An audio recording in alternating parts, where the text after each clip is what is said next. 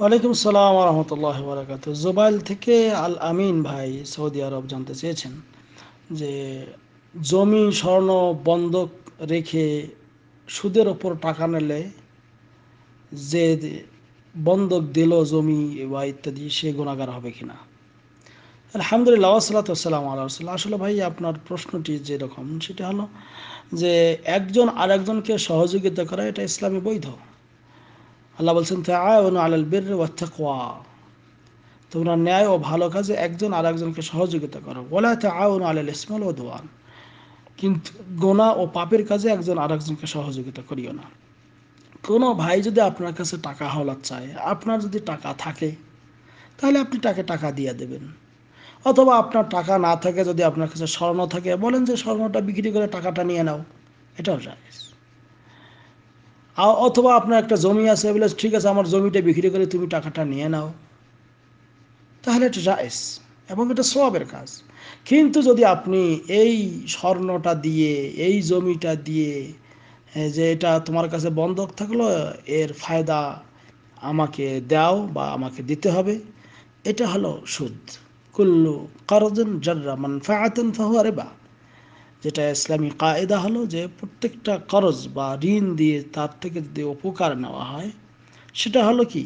সুদ। কাজেই আপনি কোনো লোককে যদি আপনার জমি বা স্বর্ণ ইত্যাদি দিলেন এবং সে যদি আবার সেগুলিতে আপনি জানেন সে এইগুলি বিক্রি করে অথবা এইগুলি আরেক জায়গায় বন্ধক রেখে সুদের ওপর টাকা নেবে, তাহলে এটা আপনি তাকে গুনাহের কাজে সহযোগিতা করলেন। আর আল্লাহর নিষেধ হলো ওয়ালাতে আওয়ানু আলাল ইসমাল ওদওয়ান গোনা এবং পাপের কাজে একজন আর একজনকে সহযোগিতা করিও না। তা আল্লাহর এটা নিষেধ এবং এটা সুরা মা এদের দুই নম্বর আয়াত। কাজেই ওই ক্ষেত্রে যদি জানেন, সে সুদ বা ইত্যাদির ওপর টাকা নেবে এবং সুদের ওপর খাটাবে হ্যাঁ তারপর লগ্নি ইত্যাদি এরকম করবে, তাহলে এই ক্ষেত্রে আপনার সহযোগিতা করার জরুরত নয়। এই ক্ষেত্রে আপনার সহযোগিতা করা যাবে না। আর যদি আপনি করেন এগুলো, তাহলে অবশ্যই সেখানে পাপের ভাগ হবেন। কারণ আল্লাহ নবী সাল্লাম সুদের ক্ষেত্রে যে হাদিসটি বলেছেন সহি মুসলিমের হাদিস, যে লান আল্লাহ হ্যাঁ যে আল্লাহ রব্বুল আলমী লানত করেন অভিশাপ করেন হ্যাঁ তাদের ওপর কারা? যে আ কেলার রেবা ওয়া মু কেলিহি যে সুদ খায়, সুদ খাওয়ায় হ্যাঁ ওয়াকাতিবিহি তার লেখক ওয়াশাহেদেহি তার উভয় সাক্ষী। এবং তিনি বলেছেন হুমফি সওয়া তারা সবাই বরাবর। এটাতে সবাই সমপরিমাণে গুণাগার হবে। হ্যাঁ সহি মুসলিমে হাদিস বর্ণিত রয়েছে। কাজেই এই অসৎ, অন্যায় এবং সুদের কাজে, পাপের কাজে একজন আর একজনকে সহযোগিতা করা যাবে না।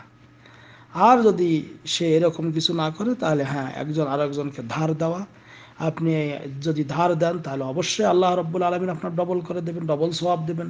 তাতে কোনো সন্দেহ নেই এবং এর বিনিময়ে আল্লাহ আপনাকে দেবে। তো আপনি কোনো কিছু ধার দিয়ে সেখান থেকে আবার যদি উপকার গ্রহণ করেন বা যিনি ধার নিলেন, জমি বন্ধক নিলেন হ্যাঁ নিয়ে ওই জমি থেকে আবার ফসল উৎপাদন করে নিজেরা খেলেন এগুলো ঠিক না। তবে হ্যাঁ যদি ওই জমিটার আপনি বন্ধক নিলেন, আপনি পঞ্চাশ হাজার টাকা দিয়ে একটা জমি নিলেন, এই জমিটা এখন ফেলিয়ে না রেখে কৃষি কাজ করতেছেন, তাহলে যার কাছ থেকে আপনি পঞ্চাশ হাজার টাকা নিলেন, তাকে বলবেন যে, ভাই, তোমার এই জমি, এটা তোমার এই জিনিস, আমি তোমাকে ধার দিলাম মাত্র পঞ্চাশ হাজার। তুমি এই জমিটার যে ফসল আবাদ হবে, এই বছর হিসাবে, মনে করেন এক বছরে আমি তোমাকে এক হাজার টাকা এটা ভাড়া দেব।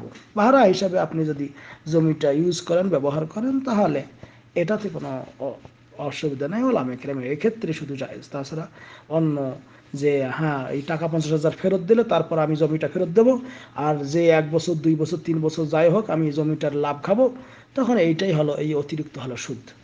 আপনি ধার দিয়ে এখন তার লাভ খাইতেছেন, এটা হলো সুদ, এটাই জায়েজ না। আশা করি ক্লিয়ার হয়েছে, হাজার আল্লাহ আলম সোয়াব ওসাল আল্লাহ আলা নবীর মোহাম্মদ। আসসালামু আলাইকুম রহমতুল্লাহ। رسول الله. لا إله إلا الله محمد رسول الله.